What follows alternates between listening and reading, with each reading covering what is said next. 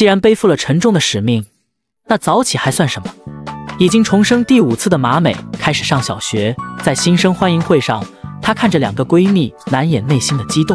而当她遇到真理时，两个人对上了暗号。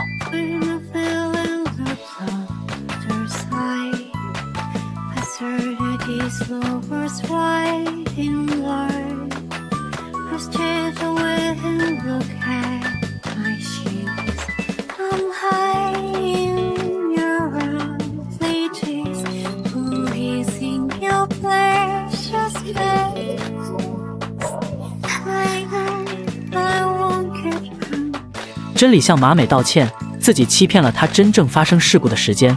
马美也表示原谅。上一世，真理担任副机师执行飞行任务，他想要在事故发生前更改航线，却遭到了正机师的阻拦。这一世，二人决定一同搭上那班飞机，阻止事故发生。小小的两个女孩从六岁就开始计划锻炼身体，努力学习，同时她们也没有放弃有友情的修炼，和美宝还有小夏成为了死党。马美以优异的成绩考入了之前国立大学，但是专业改成了工学院。虽然和真理不在一起，但是二人会在放学过后一起学习航空知识。最后一次的成人礼聚会，马美和真理尽情释放。上了大二后，马美申请进入了航空学院，笔试、体检、飞行测试还有面试全部拿下。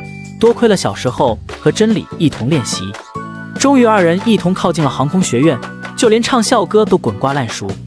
马美第一次的飞行还是比较紧张的，毕竟这能与飞行游戏相提并论。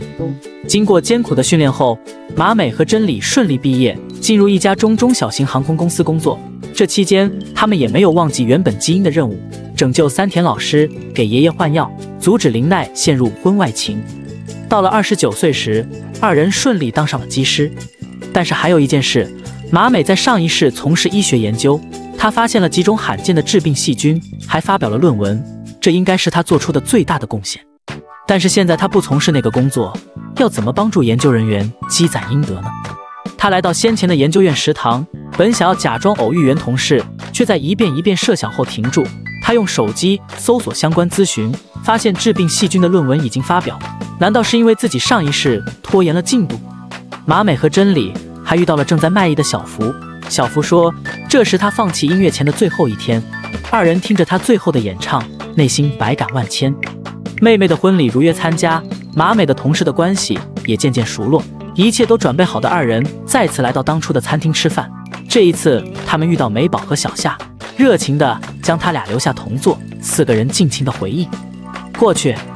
离航班起飞的日子越来越近了，依靠二人多年积攒的经验与人脉，本应该一同搭上九百三十七号航班飞行。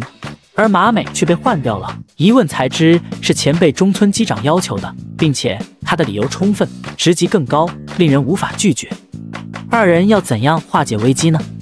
关注我，咱们下期大结局见。